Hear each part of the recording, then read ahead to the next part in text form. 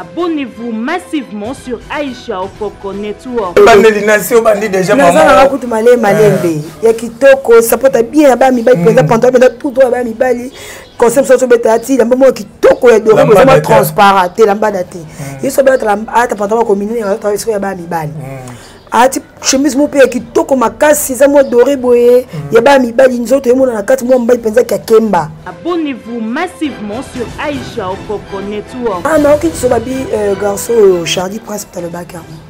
ah, ngai atangi na ngai kombo te ngai oyobi na ngai ke toyoki kaka na bainternet na biso nde baoloba bongo il y a un problème sérieux kozala kozanga kozala pembe na fere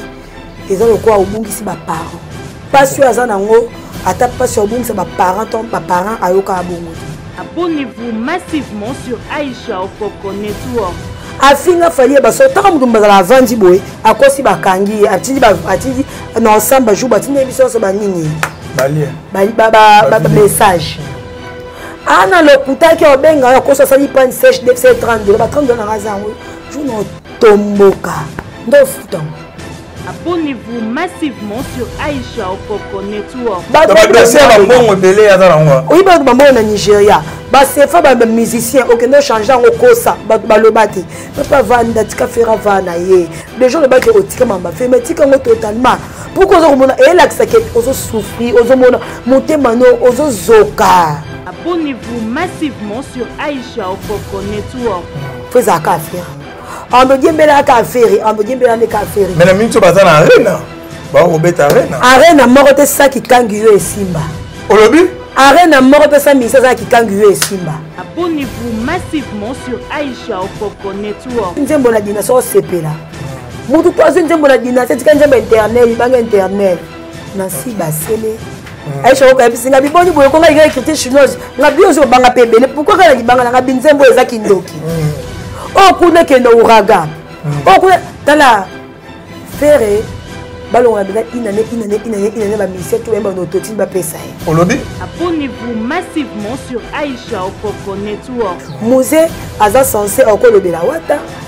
okolobela na ye jb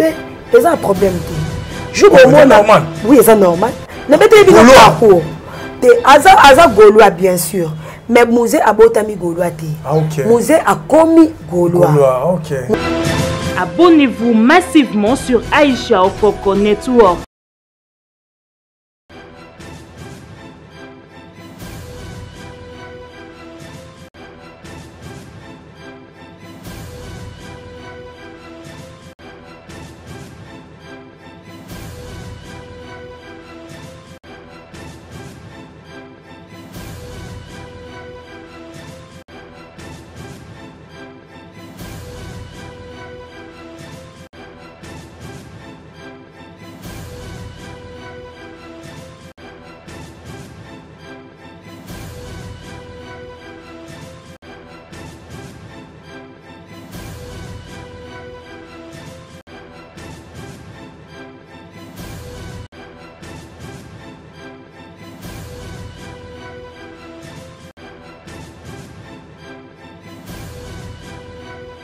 Abonnez-vous massivement sur Aisha Okoko Network. Merci fidèle internaute au Boson Dabiso partout dans le monde. C'est bien moi, Elvis Yanfoule Mbappé.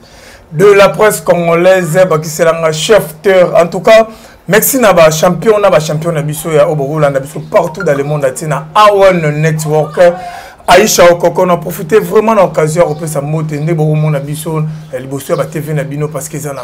mwana mobali moko tobengaka bango ba héros de l'ombre lionel pro na nsima caméra pourquoi pas mpo na confiance napesi mbote na aisha okoko okoko ya baisha en tout cas merci napesi lisusu mbote na gabi lopoke malcolm x gabi lopoke malcolm x vraiment eh, ebomu tete elaki se respecte vraiment nazomona vraiment na italie eh, papa, papa daniel euh, mabiaka na italie wana par rapport ya makambo nde ezokende motema ya rachel ucinga euh, na italie wana ntuka napesi no mbote papa dani kaka nde tosololaki ekosala vraiment kitoko en tout cas naza na plaisure ya makasi ya koyambela bino moko ya bacommunicatus ya ferregola na nkombo ya eh, ye nabengaki mingi tata mwasi ya bana nasi basele vip tokomeka kosolola vraiment makambo ebelebele parce que toyebi ke fere kola lunasi volume 2.1 eza na marché 2.2 eza na marché tokomeka kosolola na batourne oyo fere azosala na niveau ya amérique po fere kola aza na amérique na mboka ya badario molo giovanni eh, dario molo giovanni machine na profite mpe na occasion ya kopesa mpe mbote na sam kuku le nécessaire en tout cas tokomeka kosolola makambo ebele bato ebele bakolobaka fere kola azobetela basale de fete ferregola azosala bapiaka ferregola dynastie ezobeta te tokomeka kosola na nasi basele ekozala vraiment kitoko makasi lionel pro so toza meme langage ofungola ngai déjà nakotisa invité na ngai basele bonjour bonjour norabana bonjour à tout le monde bonjour na aisha okoko bonjour na Euh, cameraman na biso derrière la camera Lionel Lionel elongi ba sérieux na asi amela ata masanga te eh. azalaka mwa malamu mwa un peu d'alcool mais bilongi ya boye bazala basi ebele eh. Lionel Pro. Donc euh, na pesi hmm. mbote na Berado Prince des Amours, na El Chapo, na Yadagi Mavungu, na Yannick Ndulu, na Mama Fanta Fofana, na pesi mbote na euh, Lili Mbui El Mandra mon ami camarade na nga makasi. napesi ye mbote sikazela ntuka baquestion ezali baréponse eza yanga et surtout nazalaka prête ya répondre makambo etala papa herve daniel mabiala mpe azotalo na italie rachel otinga rachel otinga motema mm. daniel mabiala couple mo esimba donc nzambe bakisela bino suwa ebele couple na bino ata moto ameki asimba oza na problème vraiment ozala problème en tout cas tomeka kota boni basango ya papa herve depuis aza libanda ya mboka evolue comment papa herve kitoko makasi aa na états-unis ata kobeta déjà au niveau aa na 10 concert à niveau déjà 3 10 oui à niveau déjà différents états oui oui c'est ça donc euh, concert kitoko abetisi alati kitoko mm. alati bilamba moko kitoko makasi asemble moko ya verbo ya bien ya limbonde ebeta jeremi yoka niveau ya gu wana ya bilamba bana mibali bilamba mpenza ya baba bilamba alata na concert ya bana mibali ya kitokooazalaka kutu male malembe ya kitoko sapota bien ya bana mibali mpenza mm. pantalon mpenza tout droit ya bana mibali conseil mosusu azobetala ti lamba moko kitoko ya doro ezama transparent te lambada te ye so abelatala ata pantalon ya commune azotala esiko ya bana mibali ati chemise moko mpe ya kitoko makasi eza mwa dore boye ya bana mibali nzoto emonana kati mwa mobali mpenza kakemba Eh, donc euh, bamisie bayembi bien concert yango so totine bato batondi ebele na kati ya salle bamisie balati kitoko en tout cas obetama le 11 baconcert nyonso ebetama bato bakoloba ke nasi tosokola mpena pembe yo oza hmm. communicatrice mpena ya ferregola hmm. eh, mikoto obengana obengana nga obenga mingi eh, fille de disque parce que ma bande zora tete et jamais rata meilleure chanson nanga combat kaje mon frère avec la combat kaje na combat kaje vraiment euh babi faire rigola na na Dallas avec na salle de fête seulement eza salle de fête eza pour na thème sous moi 70 personnes sont belé 100 personnes à quoi qui pour retourner sans monter ah non qui so babi euh, garçon euh, Charlie Prince pour le bac à moi ah, ngai natangi na ngai kombo te ngai obi na ngai ke toyoki kaka na bainternet na biso nde baoloba bongo il y a un problème sérieux charlie kozala kozanga kozala pembeni na fere eza lokola obungisi baparent mpasi oyo aza nango ata mpasi obungisa baparent to baparent ayokaka bongo te okay. ana souci makasi wana ni charlie pasi oui de un frère atika kobeze yo te pembeni na ye kokarese yo kopuse pembeni na yo te hmm. atika koluka intelligence na yo moko te contribue na mouvement na ye mozalaki wana mpona kokumisa frère eboye frère eboye frère eboye mais obakisa un plus te mpe aluka un plus na yo te hmm. biso okende epa prese eh, tozala na prese hmm. toseka il est comme ça tozoseka tovandi tozoswa tomela ensemble aotumola biso toseka mais ye bambi azali pa feri azalaka bote azalaka bo ana 59 ans olobi ana 59 ans ah maintenant omoni bondima te oyo aza na 59 ans ta azalaka boye alengaka boye fere eh, eh, eh, alengaka alengaka boye bela fere biso osololaka bongo présent sikoyo yesu to tomoni ngabi oyo hypocrite ale amona mbela fere jésus mpenza oyo yesu masiya hmm, jésus christ de nazareth hmm. biso toyebi ke fere aza imitateur ya jésus christ hmm. mais mpenza ko asanda kosambela fere okay. ferre gola ando kosambela ferre toyebaki ayaki mpo na intere moko kakaaoyeba alingaka fere ya motema awa sikoyo likolo nango ayaka mpo afrappe pembe na fere ah, donc à travers fere afrappa bamomi na komba fere ke azalaka na fere ntango bato mosusu baya babengaki mpo na mabanga oh. nasololi na ye alobi nde nabongo mabanga bato ya dinasi mosusu alia ah, soki alie mbongo ya mabanga mosusu ya dinasisoki eza ndenge ya conférence de presse moko bakina na mbongo bapesa ye 5 mibali azwa mbongo alia moto wana a moto apiaka tafere amasa otefere a patron yo oyebi olenga fere boye moto wana alukaka bango nde boye akoma kovanda na studioomoni ero youtuber ya libandi azala omoni akoma na studio awa baketch na ye mm. a bilamba na ye baveste na ye a plateau somo taya okosa ye bilamba eleki beyema tie ndambo avandaka bongo na oa moke mpo na ozanga pembe na feri me ngai nayebi ke wana ezalaka biro na ye na biro wana na mbetu na kolie nyonso wana oh. aza na eloko te aza eloko te eza pasi mambo oyo garçon états-unis vasco mabiala hmm. to balongoli ye pembeni ntango alongoli pembeni na feri hmm. abeli bon ntango ndoko okoma manager akokoma dg ya eh, nanyo vie na biso vie ya limbisa tosolola bien mais toloba yango kaka nanyo eh, desimbwesi ah, chancele vie na biso chancele ta niveau siko de fere ti desi mbosi via bele stoma akomaka kosanza makila motema ekatana na kati batongo ye motema ti mikolo yango ata okoma lisusu mpe ya lacoste manager te ere oyo ya lacoste akomi après abela ti abimisi mambare boye basali boye bazongisi boye bazali basali boye aofinga makambo oyo mpasi eleko yango bamela fere eza lokola oboti mort ne osali 20 de mariage obotaatosali mpe balete ya danger mwa mbali wana omoni fali hmm. opesaka ye mpe confiance te afinga fali ye baso ntango moto bazala avandi boye akosi bakangi ye atindi atindi na ensemble bajour batindi ye biso nyonso banini bamessage hmm. ana ah, lokutaki obenga yo akosi asali pane sèche dfc 30 dola ba 30 dola nanga aza yango jour na otomboka nde ofutango bokutana ne wapi yeko yeko eh, banal mais mpo kota epai na ye mpe lisusu bo eske epai nango eza kaka bokoci okomi epai nango ezani aa ah, ndako lokola manda na kala okoci okomi studio owa nani manda na kala na kala ok mexi eh, nasi basele par rapport ya badire mpe ya charlie prince wana fo tosola mpe nde alobi trop ferregola akende kaka biloko moko obetala basane feti na bafeti moko azela poto oyo epa ferregola ndana onyonga oka posa okokufa okomiboma konzi coko eza lisu te oleke na pembe na miniti oyo ya solo ata sikoyo absence na ye ferregola bavoyage kilikili absence na ye fe ego nyonso yeke kitoko dinasi bakaso njenje esa esimba te likolo nango dinasi esimbi mipoko alingi koyembela fere aza musicien asala nzembo moko boye eh. ayemba boye abaki aleki fali na oyemba ti hmm. aloba bongo ah, ntongo midi pokwa asala orchestre na ye atie bamisene baoyemba na bango azali mpe derrière basi aluki basi basoutenir ye ye basi babokola na bango ye pourkoi koluka koyamba kaka komba feri tobona biso papa deja olongwaki soki oza intellectuel ya solo beta mambo kara beta makambo okaka koloba te ya na ngai beta nongo kaka bejo longo esili tuki fera vaa na ye na babiso bazoba na ye tobenga biso bazoba tonzili mm. toa bazoba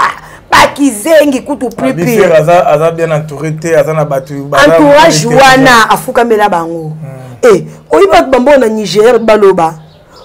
eh, bolelesha mwana moto ya suka bembo na poche eza te bato baloba te kaka charlie oh. badose ya bambongo ebele aza nango oyi bato bambongo na nigeria basefa bamusicien okende ochange yango okosa bato baloba te papa vanda tika fera va na ye deja olobaki otika mamba fe mai tika yango totalement pourkoi oza komona eyelakisaki ozosouffrir ozomona motema no ozozoka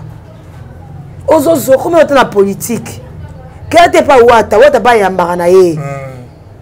bota pa yambaka ne bato wata yambaka ne mpe kisinjora mayeki kisinjora aleka aleka ayambaka ya christine hmm. amela mpe ya christine poto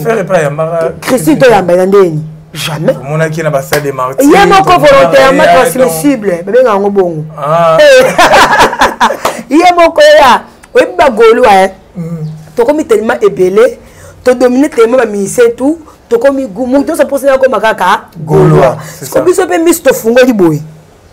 okoza oza golois totika koloba azotala mai toyebi nani aza vrai nani aza vrai te vraiment lisolo ya bavrai na bafaux euh, mpo émission na biso kaka nde tokokende boye tokosolola yango parce que tokoyeba nano banani bara vrai banani bara faux mais par rapport à concert ya dallas mm. euh, tomonaki balive kutu esalamaki hmm. tomonaki kutu baolakisa na nde bato baosomba babillet nde bato baokota tout ça hmm. mais esala edérangaki bato bamona ke sorti médiatique ya charlie prince mamoko efere atondismoni tant que efere ande osalaka balamumoka tant que efere ande osalaka mambo malamu bato nyonso bango na fere bande souffrir soki abetaka piaka hmm. esimba te alingi abima te ando yembelaka afere mpo odembela nani mpo bayetala yo na youtube hmm. mpo ezalaka afere yango ando yembelaka afere ando yembela nde ka afere me na miniti baza na arena bakobeta arena arena moko te sa kikangi yo esimba olobi arena moko te sa misa aza na kikangi yo esimba mpo ah. misa ebeta arena efo aza na kikangi yo mo boye wana aana ekriti chinoise kasi te nzembo kikangi yo ti oboyemba nini moto fo azala na visa azala na visa azala na oraga hmm. moto fo azala na banzembadouble to toto cibola moto fo azala banzembo ya kikangi oh, yo ero oza kikangi yo te okoki obeta na arena arena ebeta baka na février oyo toyemba kikangi yo naye koluka kikangi yo nasi basi bato bamona bino ndeti boa bajaloux to bajalousousi na ngai eza fali abeta nga mposa na nga ah fali so abeti esa bien bakombata batya na aza siko nango te akota ye na sale mais eza mpenza kitoko te mpo kikangi yu aza yango te aa na voi fere te aa na bilamba ofere ayataki na états-unis oza na bilamba bana mibali oza na nzembo yoka kikangi yu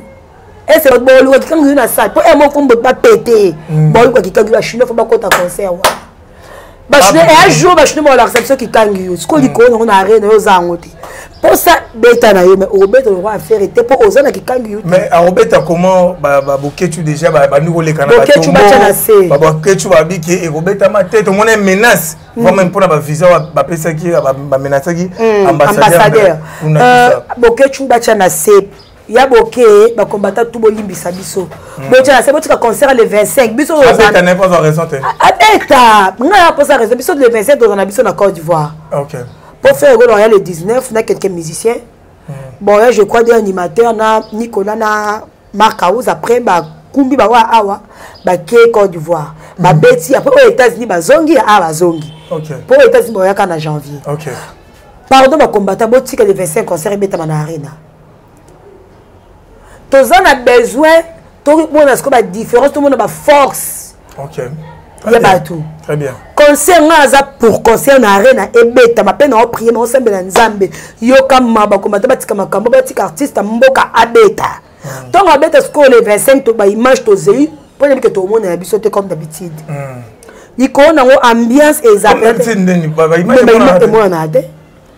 depuis ba image mema ba martyr zo emonana bolobaka to bato bape masumu te biso baimage concert ya lipanda emonana hmm. concert ya showbes ebima kutu déjà hmm. concert ya ya nini oyo ya pullman ebima lobilobi awa ebimi hmm. mposa na ngeza babeta bango arena mais eza arena risque mpo eza na kitangi yo te concert eza na goute ya na sentiment te concert eza bien mais lelo ba big euh faire gola akolanda kaka fali akolanda fali mamu nyonso fali akolanda amemi bato ebele amemi na bapire petit nde na poto faire gola mpe amemi tomoni bagia zamba bakei bapire petit na ye amemi na poto sale oyo oh, faire abetaki na dallas babi fali déjà abetaka yango déjà arena eye fere mpe atie makambo ne arena babi azolanda kaka batrace ya fali de un na début ya chose leoso fali aza musicien eza mpo na fere olobi so fali aza musicien eza mpo na fere na ndenge nini ah, artiste azalaka danser artiste aka danser abinaka na masa na ye moko boye ayaka musicien hmm. ayembaka bazotambola mibale ntango fere abandi yongo babejele bazwi ye na wenge fere auti poto aye hmm. artiste abi te fo asalaka musike fo abeta ayemba chant hmm, atika kobina atika koningisa lokete nde aningisaka nde bazwa ye azwa masane wana bakoma kotravaille chant artiste akokata ya tie pa fere na bon marché ayebisi ye efa kota maison mais afa epa boya te hmm. fere tant ke ya mokoya baza mosala liboso na ye abe mokoyaeza histoire ya solo obabe ayaka mpena fere amemi ti maison meme asesaka no teste no na tinene na bon marché hmm. apres lobi nango aye la samba e aza 64 mpo wera adongi na bon chance 64 wera sikoyo basera na nani fer aza wana bemelia baza wana ba banani bamabiala baza wana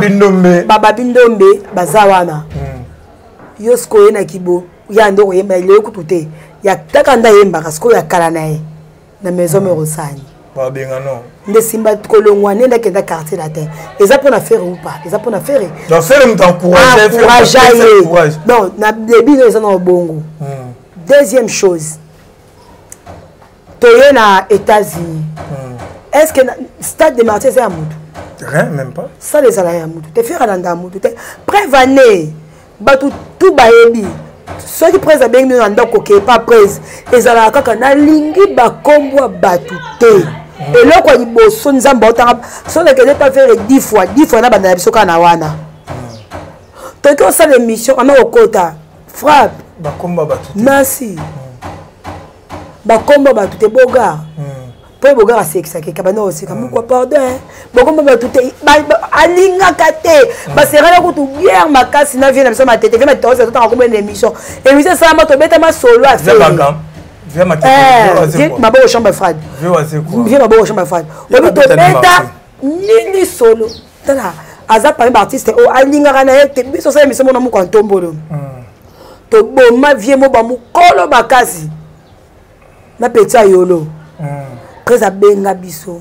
boyokaka wapi bosala emission bolobela mambo ya mouvement na bino hmm. ye boyo obenga biso ebolo te apesi ye mbote ye babengi biso abina asala bino tobi te ya prese abengaki tosala bisu te toyoki hmm. gouffre mbele fa prese abengi benge a ah, tika komba bato so ataki nkomba motu hmm. alingaka na ye te donc mwana ke moto aevitaka ata bango nde bazala batie bato hmm. na impingle eloko moko na christian bosembe na vie euh, patrick muyaya eza na mwana mwasi moko aleki na tv akisa bainjure ya buzoba mpe atikali motakala na tv donc euh, entre parenthèse bakisa bosembe baluka mwana oyo il faut asamba ok voilà il faut asamba vraiment tomekaka kozalaka bien na tv tv eza baplace oyo bacompte à rendre to ya koya olakisaka badignité na biso to ya kosala buzoba non en tout cas mwa barigueur moko fo ekotaka ekozala vraiment kitoko makasi tozo continuer na se basela en tout cas bato to bokolanda biso bopartage mission bosabone bolike ekosala vraiment kitoko surtout bachampion na bachampion nazolela bino makasi na se basele album na marché yaliki mm. yo oza oza euh, mwana kishasa mm. otambolaka mpe ovandaka mpe bakeke pa mpo ozwa mpe mopepe euh, album oyo se comporte comment dynastie volume 2 en tout cas dynastie volume 2 tolobaka yango kaka dynastie volume 2 mto eya kolongola eh, bizorbi okay. sikoyo dynastie volume 2 elongoli nao bizorbi moke apre kikangi yo mpe ekolongola yango nde bien mpo toza mm. kamini te tobimisa générique ya kikangi yo oh. président abandaki eh, déjà kala mingi te kikangu yo ebima nasi ntongo ya excuse nde au 6 décembre tozala nango hmm. dynastie taka soni no abandi bapromotion mpenza te mais oleka boye kikangi yo oleka boye yo esanga esengo banzembo nyonso ebeta hmm. eza te oyo bachanson farme moko eza na malade babimisaka uraga a bato nyonso uraga uraga ntango balisi ebimi bato bayebi te batitre ok bato bayebi visa bayebi uraga bayebi écriture chinoise bayebi double to bayebi donc osentir nzembo tu so tokeku mosika te mikolo omaka na telefone kota tiktok so omoni 100 ya, ya, ya, ya, ya, ya banzembo eza na tiktok bato baosala omona 99 eza feregola 10 babundani nango omiso azwi na miso azwi ndambo donc dynastie eza libom oyo eza beni nzambe mpenza atangisi nao bandui kota feregola so otambola na terrasse baterrasse tout tokenda barane bamama baterrasse est ce que toboke bomwa niveau baosenga dynastie totoki ata anniversaire ya gouve ana métro gouve le gaulois donc bato bazosenga dynastie ngai aza bawario oyo bakomelaa ngai wario mpenza bakomela yo e eh, basele félicitation tour mpenza mwana mai abeti sikoyo likolo na fere aza banzembo oyo na bachef d'œuvre yango bajime piano banzembo oyo etikalaka ah, lelo oyo tomoyoka baréalité hmm. toose nango bavideo eh. lelo bato momongo toyo banini oyo oh, ba eh, meilleure chemise hmm. ah, banzembo ebetama kala donc fere nzambe niveau atalisi manduki pembeni na ye me bagola balemba te bazala mpenza na kati eh, ngai esanga mpasi yana bato mosusu aza golwa au lieu se concentrer na dynastie baoza beaucoup plus na polémique eteya te eteya te c'est ça eteya te na bona ngo ntango bakoma mosusu apesa chaine aisha ngai naza na bablo mosusu ya question mosusu yo repondre kaka ezaka juste question na bona ngo etanga bakombo ya basi mosusu e mosusu bazalaka bien na aisha okoko e mosusu bazalaka bien o bazalaka bien te ekoma eza chaine na ye na bamisi ngambo mais elenga kongo ezalaka lieu de refuge na biso mikoko na mbelaka koboya mais tokuta elenga kongo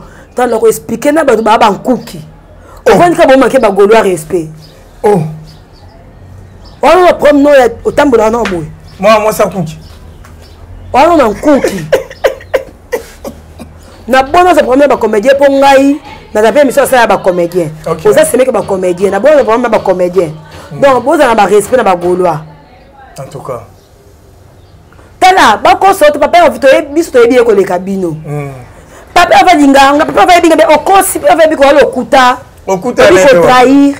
basero omonaka papa ekosola papa avo papa ava seri wa seri papa ava misumba papa ava yebamo tala okofanda na 300 tachao kata yebi yo pete hmm. fere egola aza bongo donc on apprend makumpi miluka botika na mamba golois bokipe makambo na bino c'est rare omona golois mo atelemi bandi lisolo mamba wario eke ezongi me bango kaka nde bayaka nono moko te vujima yango avanda osala peta kumisa afere na ye hmm. fere asali boye fere azongisi boye fere jamais omona akota différence afere na motu non non abeta biso non non pourquoi bino bobetaka masolo na biso pourquoi babimisi yesu bato ya ndenge na ndenge hmm. oyo aleki alobi oyo aleki esimba eh, te obi dinasi o oh, ezwi mpenza formole na morgue ya sete ekotisi oh. ekunza yango formole na morgue ya sete alingi yango eh. ebima so formole na morgue ya sete ezwi mpenza yango donc elimwisi yango hmm. na babebe na bachinois na baaméricain na bamai baoyo kaka kitangi yo babi yango babi kikangi yo nzembo visa ya ve na biso berado napesi mbo te babi yango eya na succès koleka kutu na ebongo écriture chinoise baolobani mpo misusu boyaba écriture chinoise soleil meilleur musicien soleil modogo ve malage tokeno na nini euh, napesi belanov chabi mbote esika olanda ngai siko na émission ah. tokeno na quartier latin eya na motu moko te aleka modogo aleka soleil taka affaire aya quartier latin ntango aye quartier latin babamesi ye bavocal ya moto oyo ayemba bien te babamesaka ya soleil te babamesaka ya modogo te tonka affaire aye tout na mosi oyo azaza likolo ntina likosi droit chemin donc droit bena chemin motaki bena droit ne chemin kimi atengami na ye te na nina ke bena droit chemin bena kimi abike oyo aye ngai na asuna esika te okay. bagoya to consommer dynastie dynastie etelema kitoko maka dynastie ya gout yaya nga baokani bamoi bete odechi bamboka chenga ti lelo naokoka te modechi bokoy bonje mo kitoko boye ndenge mais babifela ti bato na mara de choix parce 40 chansons nyonso gout ebe 40 koto 20 koto 20 donc 40 donc baye bateke bate na vie nanga kuna vie na pone grand maison paulin grand maison erataka te donc moto to azwi nzembo na dina soko osepela hmm. moto to azwi nzembo na dina setika nzembo internel ibanga internel nansi basele hmm. aisha okayebisi nga biboni boye ko nga lingaki critique chinoise nga bi ozi obanga mpe ebele pourkui kaka na libanga na nga binzembo eza kindoki hmm. oyo oh, kuna ekende ouraga oyo oh, kuna tala fere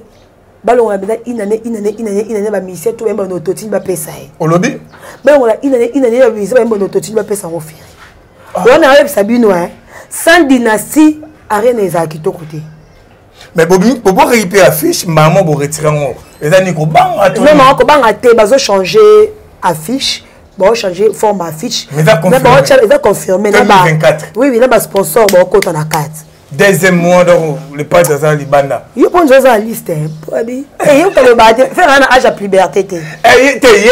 en tout cas fere gola merci mpo na makambo osalagola age ya puberté to biso bapanika visa age ya puberté ngai nazalaki na conférence de presse namoi batuni ye mambo ya voyage hmm. mais bato toyebi toyebi ke semaine wana baovoyage maboni koloba te aza yaya mokolo mais batuni mpe makambo ya totine abi ayebi yango te eza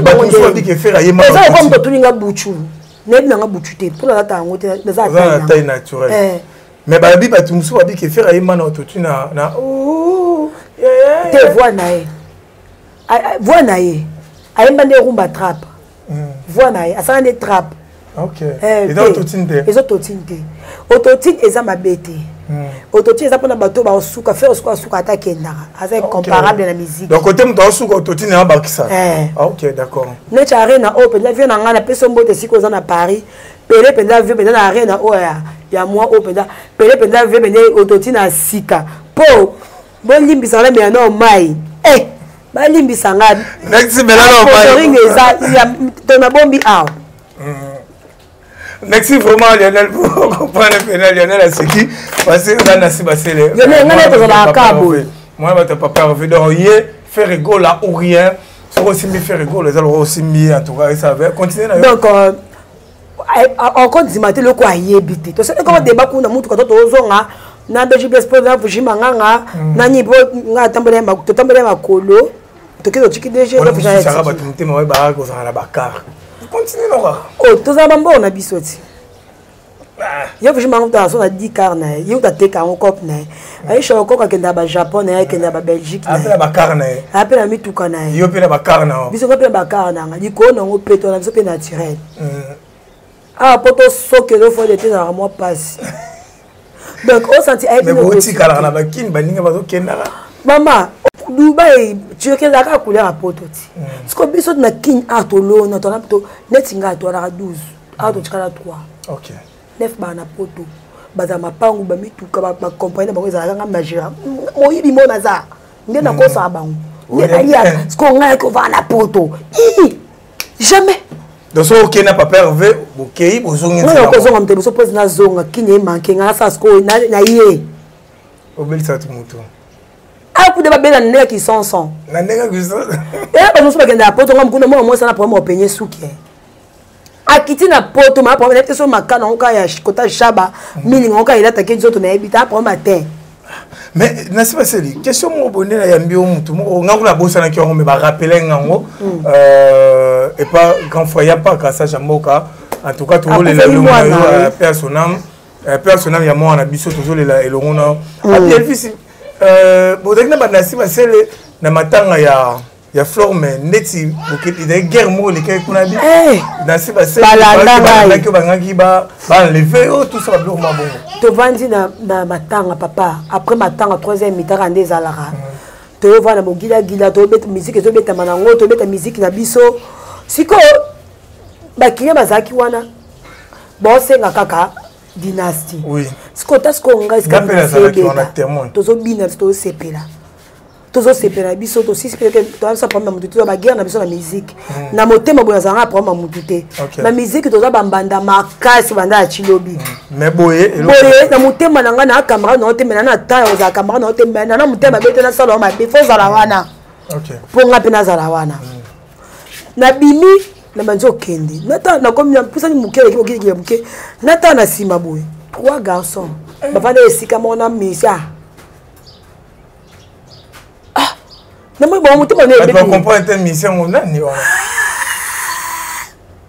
ah! nabangi nani ya ndeko ya artiste na biso euh, hmm. aigle bazalaki tomonaki ambasi azalaki tomonaki arnaud bazalaki wana mpona bazalaki mpe na na relation na bango na na flore na flore bavanda esika ah moi toi garçon na ba pire petit na nande ba taille ba pona pembe na ba patla ji onzeli nzambe kaka mutema na bloke na baporte mais vitre kotanga ya kokita na nzo ya nata mopandi bamoi moko yo na oboma yo na matiabola na ndenge baomata na moto mibale na makolo nanu hmm. bobomanga bino ndenge na bloke baportiere nazwi telefone bamati bamoto banzo nanga na nsima bamoto nzambe a monene telefone oyo okanga deuxième telefone privé na ngai ezalaki na na na na na nini ba numéro penza ba tout te pela ina nyongo ya ya crédit mm. na majo benga bo na, na défi lisungi eye mm. na bengi ibula mita bengi tarik donc okay. ibula rapenga bengi ngai ba wala ndanga na sima moite nde lokwa bino bozala mibali ba golois mm.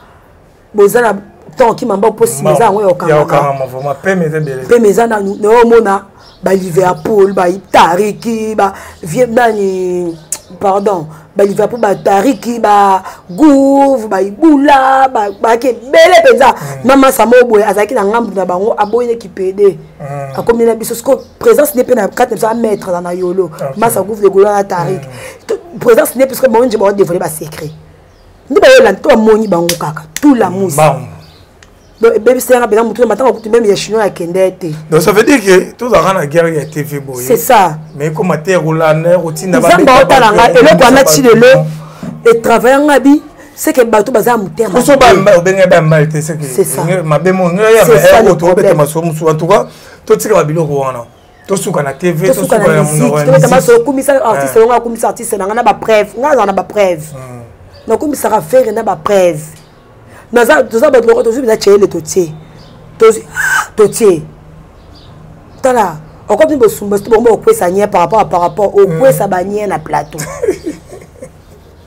tobundaka na musique voilà tobundaka na musique mais bato baretenu ke dynastie se comporte très bien très bien marché en plus euh, dynastie epe na ba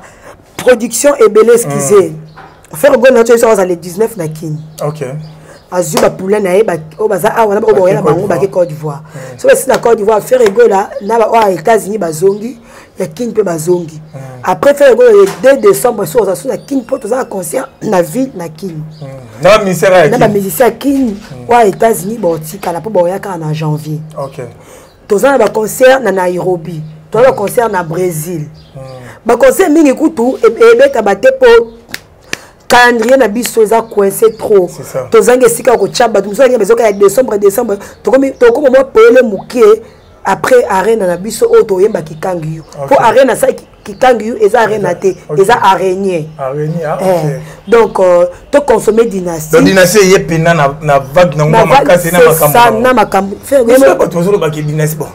baoloba boka mpo eza succès mm. po toyebi ke album soki ebeta yango nde yaka na baproductionebeta te baprodukna polémique mpe oyo ezoya mpo ezobeta so ebeta te bakimaki mpe biso te loko ezobeta bando bakaka dinasti babenga yango mauvais campagne mpo baosela biso hmm. siko ebeta mpe kaka eh, bebete lisolo babi artiste ya mboka motu babeteka lisolo na ntango akomi otoki baobenga ne pembeni hmm. avandi abi e eh, mwana mai ya bose hmm. aolinga nzembo ya soleil aolinga mpena oh. nzembo ouraga histoire vraie awa ah, aigle aolinga o makasi hmm. histoire vraie mais eza mpe mabe te ferigol aza congolais mpe aza congolais bazosala sikoyo biloko ezala pembeni na bango nde bayebaa te ah, banani biloko ezala pembeni na ye nde bayebaa te namona motu te namonaka mutu moko vie na jino liaki ok eh, jino liaki ok topesi mpe mote kote hmm. aza mais bato babi ke ferigola asali sélection moko ya bien ya babon chanteur mais baza bachanteur ya kala bazala so na actualité te basila soki atyaki sikoyo bazala na actualité mpo bano basali dynastie ebeta alakisi bino bachanteur wana basila hmm. ta nde bayembi ambasino ayemba boyo te banda botama olobi malage banda ambaza apesanga mpasi alobi eloko moko alobi fale aleki bagénération oyo aleki na bapapa wemba yayabanda na bebe canda ti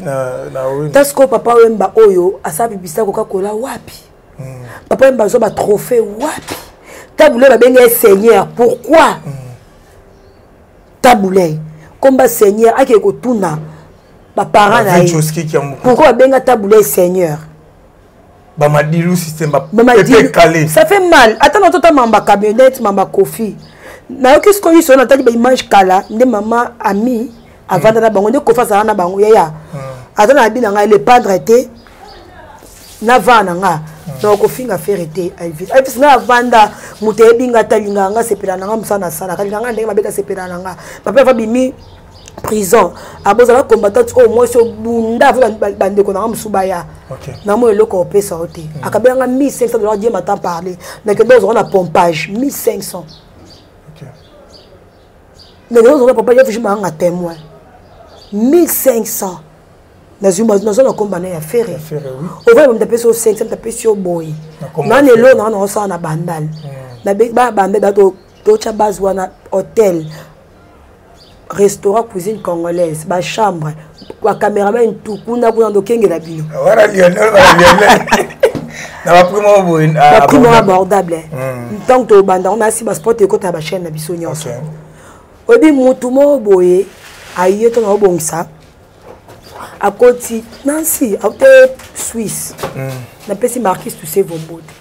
abi ah petit na ngo petit oh courageuse eh. na linga moi ça za ah goloise eh. na ka boblo mo ka belanga ba ba kiv o ba chana ba chambre okay eza valeur à combien ka belanga combien na kombo ya faire gola pa bengo déjà goloise donc eh. kombo ya faire gola o vona benga za ba kili nga ba kabelo eh na za ba mm. preuve awa aza goloise ko mo sombela nga pe ke kenda ka yebi o ta tindela ko mbongo na ye o cheli na agence mm. ya suka kutu yeyo tanti nadine okay. yeyo nayebi na ngai te nadine landu napesi ye mbote oh! sikoyo na vandi nayebi ye te akomelanga kabo na napesi yo mbote eh, ser na nga eh, nadine landu mm. eh, bomona kitambo nadine landu napesi noto otindele baperike wape na ser na nga mpe mpo na komba ferye mpenza donc soki amoni babiloko moko bozoleka na komba fere asombenga bapeyeka 800 dollars ye pena aza mwana kitambo ndeko na kitambo mbayaki eh, mwana kitambo pena donc toza bavene 40 mois donc siko moto amona leka na finga ata bango bazala na fali après oye okomi ofinga fayon boza neti oyo nyonso ndoko mpe minisa fe oya baimbécile oyongo mpe na feri oyo moliko chrétien oya mpenza imbécile mogarçon libabe mbesi garçon libabe mexi tozokoma na biso na suka na moi déjà kuna na régie baosala biso déjà style euh, question na ngai moko eza tosolana pembe babi bagaulois to bagauloise boza na album na marché bazozela promotion bamona nde bozosala promotion nde toza depuis tofandaki tolobelaka mambo ya fere mais au contraire na bandeko mosusu omona baoleka na batv to baotia bango na bapage na place balobela dynastie bango bazosala badérapage na bango bazosala bapromotion na bango moko bazosala baraki na bango moko kofinga kosala babétise wana bato mpenza babengaki biso bamekaki koyebisa biso na makombo ya bato donc baesengaka kombo ya muse kindingu babi muse kindingu na place alobela euh, dynastie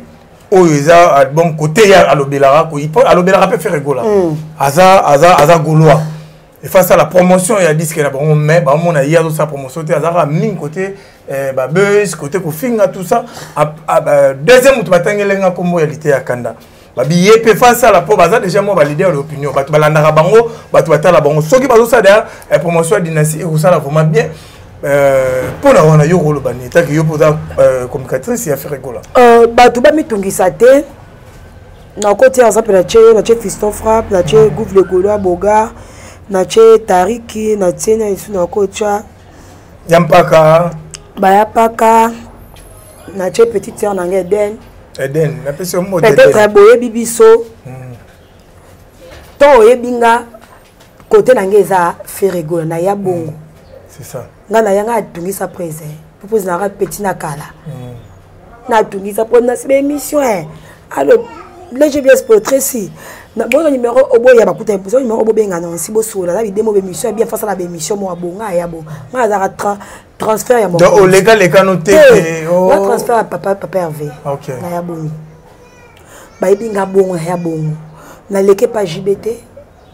eza te ke nalinga jibe te nalobi na mama miso na nga télévision napesa baresultat jibe naloki epa wera te hmm. bayebi nga ke napesa baresultat wera epa wata te napesa baresultat wata naya nasala le choix eclair motema na nga hmm. vie na nga nazala gauloise depuis na liboma ma biso kota bamusicien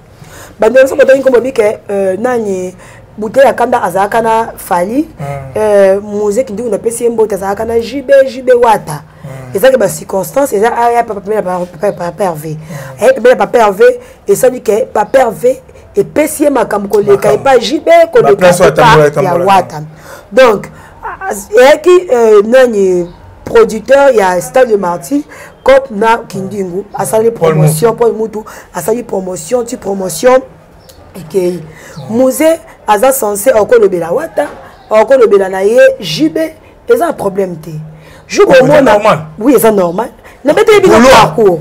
te aza aza golois bien sûr mais muze abotami golois te ah, okay. muze akomi golois okay. muze akomi aosoutenir différence eza ya moto abotami golois eh, na moto akomi moto abanda na tv golois na moto mm. akomi golois mm. aleka leka okay. natangela bato baleka leka te mm. babanda mbala moko bagolois donc muze akosala oyo nyonso alingi bien que mike asali wana na motu na ye soki ofingi papa herve ayeli aza na ye libre donc tokutela te ke muza ke te muza asali boye te non non muze aosoutenir papa herve mpo ye moto afuta muze mbongo na ye aosala campagne ya, dina, ya stade de marti amonaki non kote oyo ah natamboli tamboli tamboli mais kote namoni epesi makambo hmm. nasala nini na vana na ngai ndenge avanda malei malembe soki otika bapolemike atikaki kaka kolobela kaka feri c'est bon po ah, bato balandaka ye bato batalaka ye lite ya kanda namonaki azalaka na ye mpe na bato bazalaka contre feri baza eza famille na bango basala basola na part na ye soki amona osadi mais jour bokomona bato atengeli bino moto moko atengami akeboye nde faut eswa eh, bino donc c'est un peu ça mpona bango eza nango normal boyoki vraiment eza yango bo euh, ndenge nasi base a éclaircir bato donc botuna biso biso baquestion wana te neti nga personnellement botuna ngai so question wana te boyoki déjà nasi basele éclairci euh, bino ya bato oyo babotama bagolois na baoyo bakomi bagolois donc différence eza donc ça veut dire que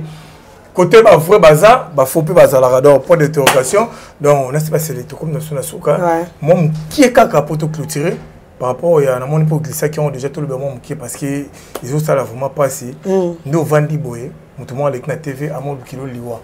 nde ovandi boye par exemple mama na bino akufaki bandi korapele makambo ya mama na bino uswati nde oza boye babiso oki kobota na papa na bino do dossier oyo ezoleka pa ve na biso joniko napesi mm. mbote ya joniko ya grand frère ya kofi napesi mpe mbote na ve na biso kwata koramani mbote ke ndeko na biso camionnette tomona basortie médiatique na ye bafaçon na ye ademaraki abimisaki mpena babeti mpe plus grave akosengela ye joni koliwa mm. mpo na yo lelo bakangi ye mais toyomona bato mosusu bakolobaki bakangi mabe bahumilie ye bakati ye bilamba bamemi ye na humiliation d'après yo otalaki baémission humiliation oyo oh, apesaki mama motu tozala na mawa r moko ngai nakovanda te nafinga mama afali nakokoka te okay. tant que naza mwana na mama ya biso tala ngai ngaka papi sokoyeka mokili mobimba hmm. navandi bokosi ovandi siko moto ofinga parent moko yo moko oyebi debi na bino hmm. yo moko oyebi parent moko boye alinga mpasi na yo te elvis ngai nayebi ngai kolala nzala epa biso biso nayosa bulia na kwisi hmm. tata moko asouffre je te jure nzambe aotapapa moko asouffri mpo olalaka nzala te alinga te osentir mpasi na vie tata moko msu kofi asouffra na mama na bango ata bango mama nyongo kofi ayemba ke msu mpe likolo nango bacamionete wana baya baquartier la te mama nyongo na lamba balia kofi asala bango bazako baza siko motu moko nge swango omoni motu moko osela bolamu nga kutu nasala bolamu malonga te motu moko kaka olinga azala place oboyo totalime na motema olingaki ya solo hmm. ça fait mal okay. sala pasi nalinga moto azala mpesa pasi te hmm. mais faut azala wana subir mpo bato ebele mosusu bazoyo ba 5 ans mosusu basala 10 ans 15 ans mambo ebele ebele kosengela motu liwa kokatela ye na okoka korépondre yango te mais totika makambo oyo tosala esala nge esali nga mpasi komona mama toyebi tozalaka fragile na baparent hmm. mama mama moninga mama mutu oke bainsalita niveau ya kofi yango para na bana na ye bana ya basi mpe mibali hmm. bakola mpe bakola batalaka mpe bainternet nakokosa yango te nakoka te mpe na tv nando ofinga ata adversaire na biso nafinga baparane nzambe no toyebi mpe masolo enyeka boye ezongisa boye hmm. bakufa na okoka na nga te na respect na bango oyo olingi basala te kosala yango moninga osili otala bato mosusu baza ça fait mal apo okomi na kasho okomi okosa bakomi batindaka ngai asengai mpe babolimbisi asengi babolimbisi oyo batindaka ngai mpo kingani na kingani bato batindaka yo bato wana pourkoi bango balobaka te ipake bato bazo komona lokola artiste musicien moko wana na nsima na ye euh, nga pene nayebi te eh. so ti kokoma artiste musicien sikoyo fotala artiste musicien aza fruit ya nani hmm. ya kofi yaya ata nzambo ata tokangisani te ata nzambo ya likolo ye mpe asala biso bato ya youtube yango amonaka okay. ata nzambo akopinie mingi basilika boye ata bamo sibiti bomo baokufaka boye eza bacompte a rendre tobwakaki mbela na émission moko tosalaki ya lionel aza témoin tobwaki mbela toluka elongi ya nzambe bacompte a rendre mambo ezoleka vraiment ebele oh. est ce bokolekaka na batv kotukaka na spiritualité te ngai namona mamu na ngai hmm. mambe leka leka bato bamo omona mpenza bazoli prophétie mbasu eloko bezoli so tozwi grâce yokota ma famille chrétienne okotambola mpe moza famille moko wana tomona oyo eyaka hmm. ovanda na kozala yo nde mona nga eh. mama biso mpenza donc neti nga osala mission mère na église ngaka nga moto aformoka nga mona famille hmm. moto aformoka bato tu bata losambo donc tobwaka sikoyo nakozala na nimbi na nga na ekemaka bulanga na meli na nga mais de seconde wana natikala ye mokolo mokili likolo nango nayebisa ye ngai ko charge moto okoko yango te kaka yo donc likolo nango mpo yatemisa motu moko boye ya famille apuyaka mpo na yo siko ba en gros hmm. tala avantage yo so bambe mokili nango tomaka na famille na biso donc merci vraiment omoni tokomi na biso na suka ngai nalobaka eloko moko ngai aza ofele de père nalobaka yango mpo bato oyo bakotala ngai bayebi ke ngai na boma na nga face te na devra face parce que naza journaliste gaulois ngai naloba yango bato ebele ayo ah, obebisa na ndima donc soki oke na faire egola na gauche ya mokomona nde elvis yaf bayaka toyebisakabato bayaka na niveau ya kobebisa reputation faire egola tanke toyebisa moto aye po toya mais toyaka te tobanda omona moto mosusu avandi boye andi ofinga mama ya faire egola donc esalaka bien te tomibatela tomilengela ntango eza mokie toluka elongi ya nzambe toluka elongi ya nzambe eza te oyo bando ya kofinga bato e eh, bakokanga oyo bando osenga bapardon na bamusicien na bato batindaka bino toyebi déjà makambo yango nde ezokende eh, nasi basili tokomi na biso na suka dernier mot vraiment na profite mpe na occasion ya kopesa mote na eh, nadine landu oyebi esali mikolo ebele fort osokolaaasomela baperike ya 800 dollar te ye mpenza koteya c'est bon ayesanga elvis nasala eloko moko boomela mai eya nabosana kuna ta bo eya mpe donc en tout cas sere na ngai ya kitambo donc kitoko eh, tokomi na biso na suka dernière mot na yo euh, dernière mot eza golois golois se concentré na euh, promotion ya album tya artiste na maboko ya nzambe ebima na bafutilité badistraction na badistraction bafutilité nasengaki eloko haute voix christian bosembe euh, papa na biso patrick muyaya bozwa solution mpo mobetaki gel aokisi biso soni métier na biso na bana na biso napourquoi baozwaka makambo ya youtube azwa mpe ya charge mpo bablo mosu elongalonga donc euh, baimage wana ngai nazongiselaki bango natindaki tindaki yango ça fait mal ekomi soni journaliste azalaki moto ya fiere moto ya lokumu moto ya mayele na famille ekomi journaliste baomomona ondire ndumba ondire moto ya bilobela ça fait mal tona mosala mosusu te tosalaka ya mosala oyo topesa yango valeur napesi merci na le part d'affaire egola nasolai na prese na butu mm. prese aza très bien tolingaka ko mingi wata kitoko wata bilamba ba mibali mm. oyembi so totiolata bien prese ko nango oke arena na fievre oza na nzembo nemo okikangi yo arena bapesi na message wana poto ah. babisaki kangi yo arena eza renie eza rena te mais epanzi nayoki bana pot bana france dans europe mobimba baza na defi na kin babiki na kin awa botondisaki martin biso mpe na poto tokotondisakasi na bato baza na libom na bato baza na kitangi yo wana écriture chinois na n'importe qui te hmm. mais prière na ngai il faut fali abeta bakoba te botika artiste abeta botikakaobi il faut abeta mpo hmm. fere mpo abeta rena hmm. fali mpe fobeta arena oh, mpona kocompare ta berado napesi ye mbote mama fata fofana mama bechi bambe eh, femme d'affaire napesi mbote na bibi shkumbo mama jeanne ndoki eh, lili mbui mon ami je te sali napesi mbote na dg blaise polo ya pichu botoko ah! napesi mbote na Euh, nani lisusu ya badi mavunguvungu le grand frère ya mon cœur yannick ndu déclaré international ilunga o oh, aza na états-unis abe ah, aliaka bakompare mpe na petit fali bwa mwana nga bayela ngai na maboko eh. petit fali ah. bon ekuti ayela ngai ntongo aye sika bayela ngai nayebisi ye makambo osala na oyo ngai asala tokokani te ah, napesi ye bato nayebi bazanga bokunda bayela ngai na terrasse na na yolo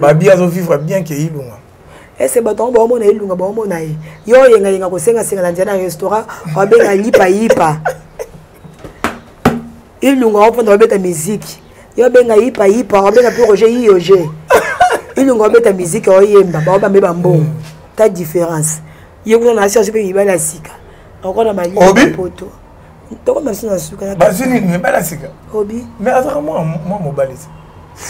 ondie fona mela mai awa kuna na europe mpe hiver eza makasi donmikoloentouka napesi mbote na bato tu bozalaki vraiment branché connecté na awon network aisha okoko euh, eza bongo ya bino elvicien fuyo fisenea euh, donc bo continuer ko partager bo continuer ko liker bo commenter ba oyo na ko s'abonner te par exemple oteka euh, émission par hasard nde bimara wana YouTube s'abonner bon mona mambo ya kitoko et osala vraiment bien makasi merci na maman Aisha Koko merci na Sam Kuku le nécessaire kolanda merci na Dario Mbolo Giovanni merci na papa Arthur Etango motema maman Brigitte Boluku na États-Unis hein mboka Ferregola za kuna donc maman Brigitte na peso mbote motema papa Arthur Etango mbote na bato tu bolingaka elvis yamfu na baoyo bolingaka nga te nga alingaka bino na baoyo bofingaka nga na bacommentaire ya bemission na nga nga nalingaka bino eh, donc nasepelaka na bino donc soki omoni ke atie nini profil ya aigle ah, ya solo nakotoko na papuna kati na kati opumbu esu te nakokalingo mpe ezali yo mpe esabe eh. na bien en tout cas banimero eza wana ba ba remarque bobenga ekosala vraiment kitoko makasi donc mingi ilunga ake poto na mosala ake poto ya condition te merci okay. merci ilunga ake poto ya mosala ya condition te wana nasim talobi ngai te ake poto ya mosala me ya condition te donc eza na bato baokee bapoto ya bacondition sala boesalaboesanie te biso bakambola lisusu te bato balimbisa jeka aceka paix hmm, basala mama otambola boye merci merci soki kolo nzambe azongi te tokomona na prochain numéro bye abonnez-vous massivement sur aisha okoko network